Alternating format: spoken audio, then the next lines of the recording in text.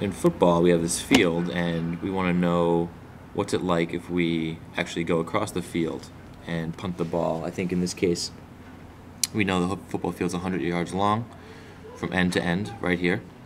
That's 100 yards. And it's 53 yards wide. So we have a rectangle. We know dimensions in yards 53 by 100. How many yards, this question asked, would a 100 yard kick off return be from corner, one corner of the field diagonally to the opposite um, corner? Now that's a little confusing to me because they're telling you, they're asking how long would a kickoff be if it was 100 yards long?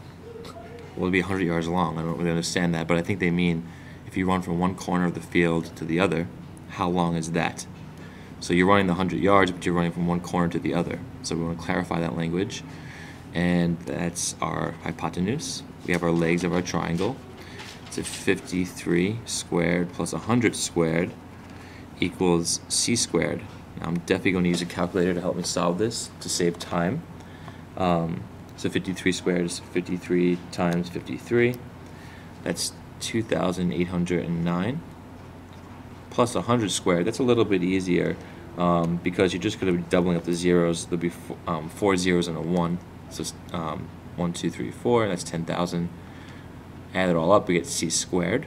So 10,000 plus 2,809 is 12,809. And that's c squared. We want to know what c is.